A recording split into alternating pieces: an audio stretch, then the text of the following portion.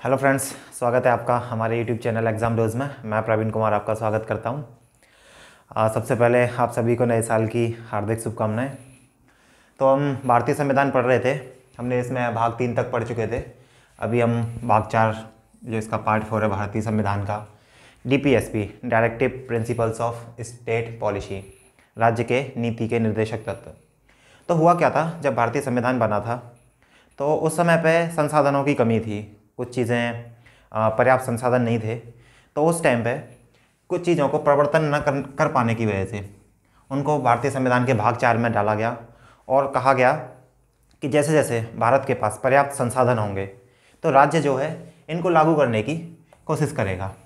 हालाँकि भाग चार जो है इनको हम कोर्ट में ये नहीं बोल सकते हैं कि हमारा अधिकार है हमें मिल नहीं रहे इनके खिलाफ हम कोर्ट में नहीं जा सकते हैं। लेकिन राज्य का राज्य के लिए बताया गया था कि आपको जैसे जैसे संसाधन होंगे, आप इनको लागू करेंगे। तो ये न्यायालय में बाध योग्य नहीं है। तो बात करते हैं भाग चार में डीपीएसपी तो अनुच्छेद 36 से लेके अनुच्छेद इक्यावन तक, भारतीय संविधान के अनुच्छेद 36 से लेके अनुच्छेद इक्यावन तक ये डीपीएसपी आते हैं। बात करते हैं अनुच्छेद 36 की। तो अगर अनुच्छेद 36 की बात की जाए तो ये डी पी हैं, ये आयरलैंड के संविधान से लिए गए थे। सबसे पहले ये जो डी हैं, ये आयरलैंड के संविधान से लिए गए थे। तो बात की जाए अनुच्छेद छत्तीस तो इसमें राज्य की परिभाषा दी गई है। अनुच्छेद छत्तीस में बताया गया है कि राज्य क्या है। तो यहाँ पे ये वही राज्य है जो आपको भारतीय संविधान के अनुच्छेद बारह में बताया था। यहाँ पे राज्य वही है जो भारतीय संविधान के अनुच्छेद बारह में, भाग तीन में मैंने आपको बताया था। इसके आपको मैंने चार तत्व बताए थे तो ये आप वहाँ से देख लीजिएगा। अनुच्छेद सैंतीस की बात की जाए तो अनुच्छेद सैंतीस में बताया गया है डी पी जो हैं directive principles of state policy ये वाद योग्य नहीं है। अर्थात ऐसा नहीं है कि इनको लागू करने के लिए आप मतलब ये आपका मौलिक अधिकार नहीं है। आप इनके लिए कोर्ट में नहीं जा सकते हैं। तो इन, इनको बताया गया था कि डीपीएसपी वाद योग्य नहीं है लेकिन ये शासन के लिए मूलभूत है। किसी भी राज्य का शासन सुशासन एक तरह से बोला जाए तो सुशासन अच्छा शासन तो वही राज्य अच्छा शासन माना जाएगा जो क्या है डीपीएसपी को लागू करे। जैसे जैसे रिसोर्सेज की अवेलेबिलिटी होगी इनको लागू करे। तो अनुच्छेद सैंतीस में बताया है कि डीपीएसपी जो है, वो वाद योग्य नहीं है। इन, लेकिन ये क्या है? शासन के लिए मूलभूत हैं। बेसिक बातें हैं ये कुछ, एक अच्छे शासन के लिए। अनुच्छेद अड़तीस की बात की जाए तो अनुच्छेद अड़तीस में बताया गया है, राज्य, लोक कल्याण की अभिवृद्धि के लिए। राज्य जो है, लोक कल्याण की अभिवृद्धि के लिए सामाजिक व्यवस्था बनाएगा। अर्थात बात की जाए तो यहाँ कल्याणकारी राज्य की बात की गई है। कल्याणकारी राज्य की बात की गई है कि जो राज्य है, वो सामाजिक, आर्थिक, इन सभी और लोकतंत्र, सामाजिक, आर्थिक और राजनीतिक न्याय, सभी को समान प्रोवाइड कराएगा। तो अनुच्छेद अड़तीस जो है डीपीएसपी का, एक कल्याणकारी राज्य की बात करता है। जो भाग चार है डीपीएसपी जो है, ये अलग अलग प्रकार के हैं। कुछ गांधीवादी सिद्धांत हैं इसमें, कुछ सामाजिक सिद्धांत हैं। तो इसके अलग अलग सिद्धांत हैं, जिसमें ये कल्याणकारी राज्य की बात करता है अनुच्छेद अड़तीस। बात की जाए अनुच्छेद उनतालीस की तो अनुच्छेद उनतालीस कहता है, इसमें बताया गया है, राज्य के लिए कुछ अनुसरणीय तत्व हैं मतलब कुछ एलिमेंट्स हैं जो राज्य को अपने एक अच्छे शासन के लिए देखने पड़ेंगे। तो उसमें बताया गया है, सबसे पहले, अगर हम इनको याद करें, अनुच्छेद छत्तीस डी में बात कर रहे हैं, अनुच्छेद छत्तीस, सबसे पहले राज्य आता है तो उसमें राज्य की परिभाषा दी गई है। अब राज्य आ गया भैया तो राज्य के बाद क्या कह कह दिया गया, क्योंकि हम पढ़ डी रहे हैं तो डी में क्या है? ये क्या बताया गए? आधारभूत हैं। लेकिन वाद योग्य नहीं है। तो सबसे पहले ही क्लियर कर दिया उसने, वाद योग्य नहीं है। तो सबसे पहले राज्य आ गया, उसके बाद ये वाद योग्य नहीं है। अब वाद योग्य नहीं है तो डी की बात कर रहे हैं। तो ये क्या है? कल्याणकारी राज्य बनाएँगे। सबसे पहले राज्य, फिर वाद योग्य नहीं है, फिर कल्याणकारी राज्य बनाएँगे। अब कल्याणकारी राज्य बन गया।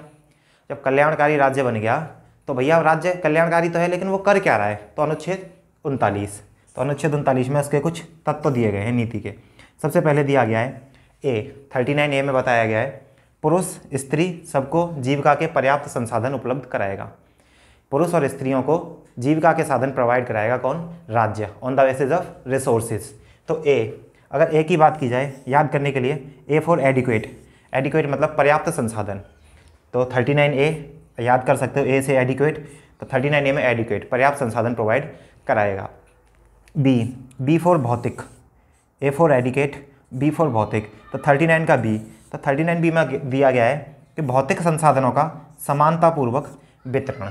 राज्य जो है भौतिक संसाधनों का समानतापूर्वक वितरण करेगा।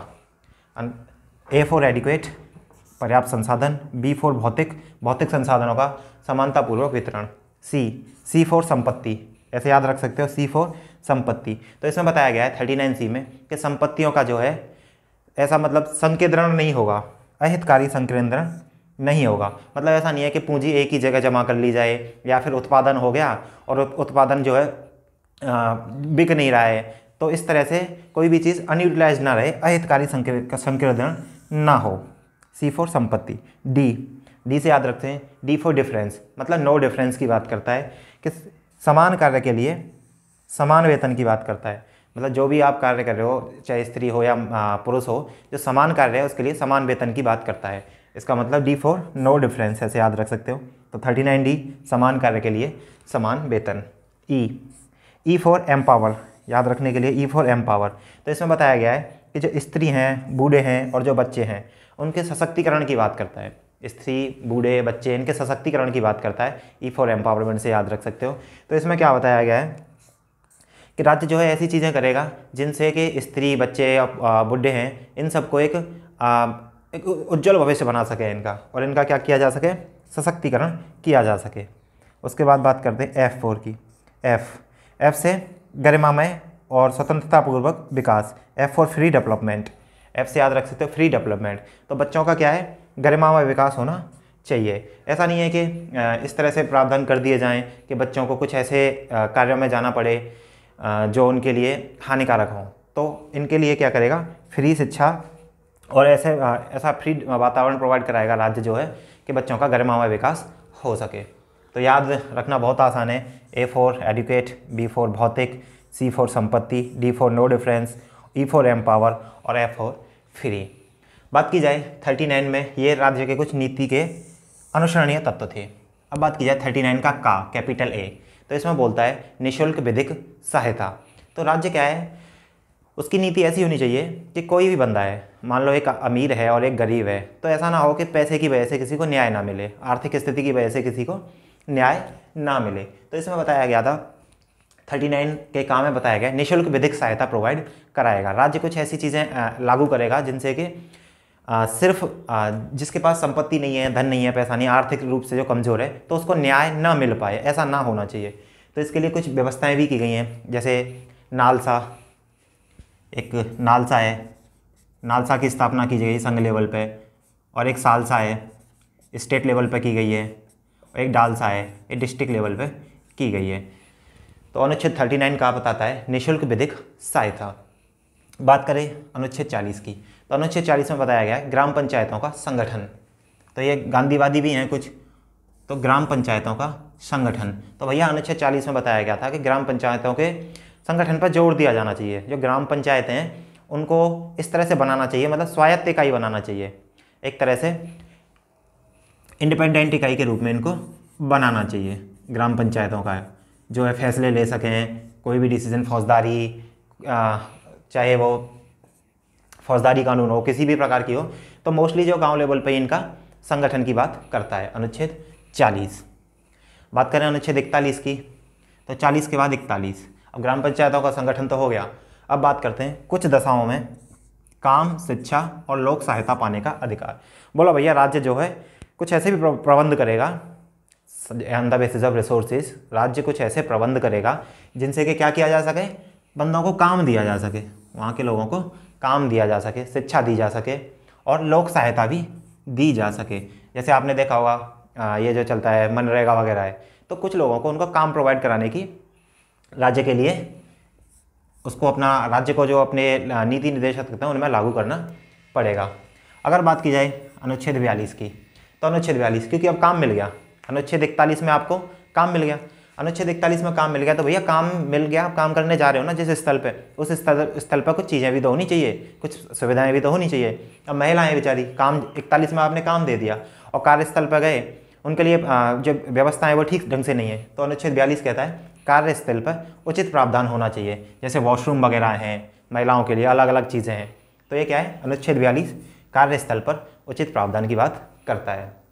अनुच्छेद इकतालीस काम की बात करता है अनुच्छेद बयालीस कार्यस्थल पर उचित प्रावधान की बात करता है। अब बात कर ली जाए अनुच्छेद तैंतालीस की। तो अनुच्छेद तैंतालीस याद करने का सिंपल तरीका काम मिला काम के लिए फिर व्यवस्था और उसके बाद भैया काम दे दिया लेकिन काम दे रहे हो तो उसको इत, इतना पैसा दो कि उसकी घर रोजी रोटी चल सके वो खाना पीना खा सके। तो अनुच्छेद तैंतालीस कहता है कि कर्मकारों वर्करों को क्या है? निर्वाह योग्य मजदूरी दी जानी चाहिए। जो वर्कर्स हैं, उनको निर्वाह योग्य मजदूरी दी जानी चाहिए। इतने वेजेस होने चाहिए उनके, जिससे कि उनका घर का खर्च चल सके। इस प्रकार से उनकी व्यवस्था राज्य को करनी चाहिए। अब बात क्या है? अब निर्वाह योग्य मजदूरी मिल गई। अब मजदूरी मिल गई तो मजदूरों के लिए क्या है? फोर्टी थ्री ए में फोर्टी थ्री में ए में क्या बताया गया कि मजदूर तो मिल गई, लेकिन भैया मैनेजमेंट में जब तक आप मजदूरों की भागीदारी नहीं दोगे तो आप पूरी तरह से मजदूरों का तो हित होगा नहीं। तो इसलिए क्या कहा गया कि मजदूरों को प्रबंधन में भागीदारी मैनेजमेंट में भी मजदूरों का हिस्सा होना चाहिए। अब फोर्टी थ्री ए तो फोर्टी थ्री ए में मजदूरों की हिस्सेदारी हो गई। अब हिस्सेदारी हो गई, भागीदारी हो गई इनकी तो इनकी आवाज़ उठाने वाला भी तो कोई चाहिए, जो मजदूरों की आवाज़ उठा सके। तो इन्होंने कहा कि फोर्टी थ्री बी में कि भैया सहकारी समिति हैं, उनका गठन होना चाहिए कोऑपरेटिव सोसाइटीज़ का 96 अमेंडमेंट था। सहकारी समितियों का गठन होना चाहिए। तो यहाँ तक आई थिंक पढ़ते पढ़ते याद हो गया होगा, जिस तरह से बता रहा हूँ। अनुच्छेद चौवालीस की बात की जाए तो अनुच्छेद चौवालीस कहता है, चार और चार, इससे याद रख सकते हो, बराबर। मतलब क्या है? समान सिविल नागरिक संहिता। राज्य को क्या है? समान सिविल नागरिक संहिता लागू करनी पड़ेगी। सबको एक नज़र से देखना पड़ेगा। अब बात की जाए अनुच्छेद 45 अनुच्छेद 45 तो चार और पाँच, नौ। याद रख सकते हो, चार और पाँच, नौ। नौ फोर नवजात।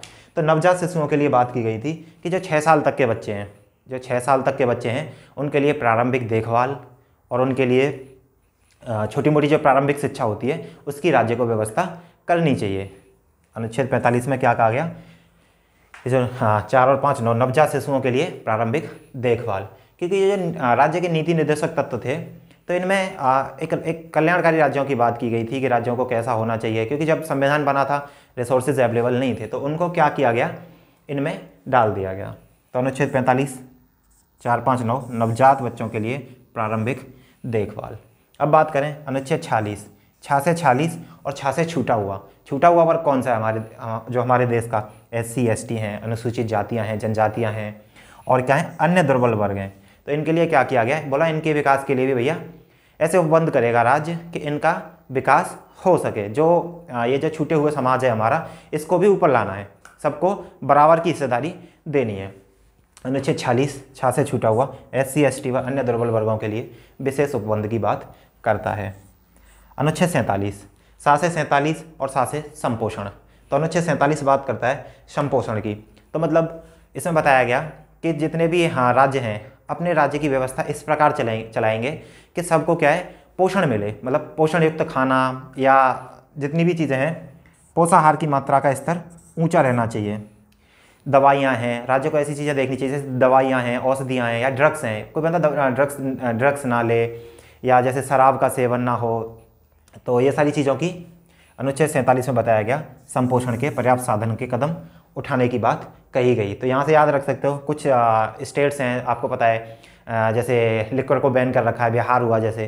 तो ये अनुच्छेद सैंतालीस के तहत ही उनके क्या है, नीति निर्देशक तत्वों के आधार पर उन्होंने बैन किया है। तो शराबबंदी इसमें आ जाती है अनुच्छेद सैंतालीस में। आप पूछा गया ये प्रश्न एक बार। बात की जाए अनुच्छेद अड़तालीस की तो भैया क्या है? अड़तालीस। अड़तालीस में क्या है? चार और आठ। चार और आठ। तो इससे याद रख सकते हो चार से चारा चार और ये, चार से चारा से याद रख सकते हो। तो चारे की बात करेंगे तो क्या है? कृषि और पशुपालन। तो अनुच्छेद अड़तालीस में बताया गया है, कृषि और पशुपालन का संगठन। तो राज्य क्या है जो कृषि और पशुपालन के संगठन की बात करेगा। साथ में क्या है, जो गाय हैं, बछड़े हैं, इनको नहीं मारेगा। गौ हत्या पे बैन लगाने की बात करता है अनुच्छेद अड़तालीस। तो गौ हत्या पे बैन लगाने की बात करता है। साथ में जो भी दुधारू पशु हैं, जो भी मैमल्स हैं, जो दूध देते हैं, उनके लिए बात किया गया है कि उनको, उनका वध ना किया जाना चाहिए। तो कृषि और पशुपालन के संगठन की बात अनुच्छेद अड़तालीस करता है। अब कृषि, पशुपालन तो हो गया। अब भैया, पशु, पशुपालन कर लिया। अब इनके लिए खाने के लिए चीज़ें होंगी और क्या है? वन वगैरह से चीज़ें आती हैं। तो अड़तालीस का, अड़तालीस में काम में बताता है, वन व वन्य जीवों का संरक्षण। अनुच्छेद अड़तालीस का बताता है, वन व वन्य जीवों का संरक्षण। बात किया जाए, अनुच्छेद 49 तो 49 में है, राष्ट्रीय महत्व के जो स्मारक हैं जो भी स्मारक हैं, जो भी मोनूमेंट्स हैं, जो विरासत हैं हमारी, जैसे कोई चीज़ों को विरासत घोषित कर दिया जाता है, राष्ट्रीय विरासत तो उनका क्या है? संरक्षण करना है राष्ट्र राज्य को। ये राज्य का नीति राज्य की नीति होगी कि जो भी हमारे राष्ट्रीय महत्व की चीज़ें हैं, उनका क्या करेगा? संरक्षण करेगा, उनको बचाएगा विश्व की धरोहरों को। अनुच्छेद उनतालीस। अनुच्छेद 50 की बात की जाए तो 50 50 50 50 50 मतलब कार्यपालिका का, न्यायपालिका से पृथककरण। तो कार्यपालिका का न्यायपालिका से न्यायपालिका से पृथककरण। तो क्या है? अब पता है हमें न्यायपालिका जो ही जो विधान बनाएगा अगर वही विधान को लागू भी करवाए तो क्या है? इन दोनों में आ, जो है कोऑर्डिनेशन नहीं हो पाएगा। इसलिए बताया बताया क्या गया कि जो कार्यपालिका है जो विधा विधायिका का काम कर रही है जो कार्य करवा रही है एग्जीक्यूटिव है तो वो न्यायपालिका से अलग होनी चाहिए। दोनों का पृथककरण होना चाहिए। नहीं तो न्याय देने में जो है उचित उचित तरीके से न्याय नहीं मिल पाएगा। इसलिए क्या क्या आ गया? फिफ्टी फिफ्टी न्यायपालिका से कार्यपालिका का पृथककरण मतलब अलग अलग होने चाहिए। बात की जाए लास्ट अनुच्छेद 51 तो अनुच्छेद 51 बोलता है, अंतर्राष्ट्रीय शांति व सुरक्षा की बात करता है। तो राज्य क्या है? राज्य का ये नीति होनी चाहिए कि वो जो अंतर्राष्ट्रीय शांति और सुरक्षा को बनाए रखे। तो इसमें दो तीन प्रावधान हैं। जैसे आपने देखा होगा, हमेशा देखते हैं भारत पाकिस्तान का युद्ध हुआ तो बोलते हैं, भाई, ये बातों को आपसी, ये आपसी मामले को बातों के माध्यम से सुलझाया सुलझाना चाहिए। मध्यस्थता मध्यस्थता से बातों को सुलझाना चाहिए। तो अनुच्छेद इक्यावन में यही दिया गया है कि अंतर्राष्ट्रीय जो भी संधि होती हैं, ट्रीटी होती हैं, उनका पालन करना चाहिए राज्य को। साथ में जो भी विवाद हैं, उनको बातों के माध्यम से सुलझाना चाहिए, मध्यस्थता के माध्यम से सुलझाना चाहिए। तो ये भाग चार डी थे, इनको आयरलैंड के संविधान से लिया गया था। तो हालाँकि जो डी थे पहले ये जो थे ये मौलिक अधिकारों से ज़्यादा प्रभावी माने गए थे इनको। लेकिन बाद में क्या किया गया? इनको चलते जो बाद का टाइम आया उसमें क्या हुआ? ये दोनों एक दूसरे से पूरक हो गए। तो प्रश्न पूछा जाता है कि अगर नीति निर्देशक तत्व और मौलिक अधिकारों में आ, कौन ज़्यादा वरीयता दी जाती है? किसको प्रेफरेंस दी जाती है? तो पहले के मामले में देखा जाए तो डी को प्रेफरेंस दी जाती थी लेकिन अभी जो हैं ये दोनों एक दूसरे के पूरक हैं। एक दूसरे के कॉम्प्लीमेंट्री हैं। तो याद करना बहुत ही आसान है। छत्तीस में राज्य हो गया, सैंतीस में राज्य के बाद आती है। तो बात डी पी कर रहे थे तो डी पी को पहले ही बता दिया कि बोला, ये वाद योग्य नहीं है डिबेटेबल नहीं है और आप इनको कोर्ट में नहीं जा सकते हो। अनुच्छेद अड़तीस में बात की जाए तो डी पी हो गया, इसके बाद कल्याणकारी राज्य की बात करता है अनुच्छेद अड़तीस। जब कल्याणकारी राज्य हो गया तो राज्य को कैसे कल्याणकारी होना चाहिए? उनतालीस में उसके कुछ तत्व बता दिए। तत्व में ए ए फॉर एडिक्वेट पर्याप्त संसाधन बी बी फॉर भौतिक संसाधनों का समानतापूर्वक वितरण सी फॉर संपत्ति D for no difference E for empower and F for free development 39 का निशुल्क विधिक सहायता, नालसा, डालसा और सालसा की स्थापना। 40 की बात की जाए, ग्राम पंचायतों का संगठन। इकतालीस, बोला, कुछ दशाओं में कार्य करने का अधिकार। जब कार्य करने की छूट दे दी तो भैया कार्यस्थल पर व्यवस्था करेगा। अनुच्छेद बयालीस। अब कार्यस्थल पर व्यवस्था हो गई तो भैया काम करने का इतना पैसा दो कि उनकी रोजी रोटी चल जाए। तो निर्वाह योग्य मजदूरी तैंतालीस में आ जाता है। तो अब निर्वाह योग्य मजदूरी हो गई तो मजदूरों का प्रबंधन में, मैनेजमेंट में भागीदारी। भागीदारी होगी तो फिर तैंतालीसवीं में सहकारी समितियाँ आ जाएँगी। उसके बाद चौवालीस चार चार, समान नागरिक संहिता। बात की जाए, फोर्टी फाइव, चार और पाँच, नौ, नवजात शिशु, बाल्यावस्था की देखरेख। छाफ और छालीस छूटा हुआ। जो छूटा हुआ वर्ग है हमारा, उसके लिए विशेष उपबंध। सात से संपोषण, सात से सैंतालीस। पोषाहार जो है, इस तरह वो बढ़ाना चाहिए और शराबबंदी या ड्रग्स वगैरह उनका देख रेख आज से अड़तालीस फोर्टी एट चार और आठ, चारा। कृषि व पशुपालन का संगठन। गौ गौ हत्या बंद हो जानी चाहिए, दुधारू पशुओं का भी ध्यान रखा जाना चाहिए। उसके बाद अड़तालीस का, वन व वन्य जीवों का संरक्षण। बात की जाए फोर्टी नाइन की तो राष्ट्रीय महत्व के जितने भी स्मारक हैं उनका संरक्षण। अनुच्छेद पचास, फिफ्टी फिफ्टी, न्यायपालिका से कार्यपालिका का पृथककरण। और अनुच्छेद इक्यावन जो लास्ट है, अंतर्राष्ट्रीय शांति व सुरक्षा। तो हमने भाग चार के डीपीएसपी पढ़े। इसके बाद कल कल के वीडियो में अनुच्छेद इक्यावन का भाग चार ए देखेंगे। उसके बाद हम प्रेसिडेंट और संघ में चले जाएँगे। एंड संघ की और राज्य की व्यवस्थाओं को देखेंगे। उम्मीद करता हूँ आपको ये वीडियो अच्छा लगा होगा। अगर आपको ये वीडियो अच्छा लगा हो तो लाइक करें सब्सक्राइब करें और शेयर करें। Thank you so much